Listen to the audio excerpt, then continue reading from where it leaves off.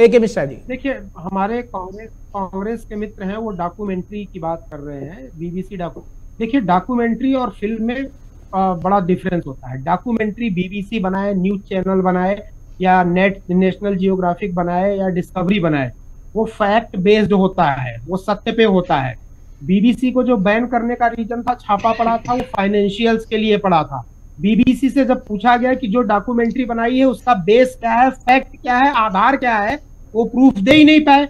ना तो बीपीसी ने ये डिक्लेयर किया था कि ये फिक्सीसियस है। कुछ हम्म। लोगों से मैच करना या कोई भी पार्ट मैच करना महज संजोग होगा। तो हम्म। डॉक्यूमेंट्री और फ़िल्म में डिफरेंस समझिए जो टेक्निकल फ़िल्म सेंसर बोर्ड के थ्रू जाती है डॉक्यूमेंट्री किसी सेंसर बोर्ड के थ्रू नहीं जाती है। बीबीसी को अगर हिम्मत है तो वो अपनी डॉक्यूमेंट्री को सेंसर बोर्ड के थ्रू पहले ले जाके जाँच कराए फिर दिखाए।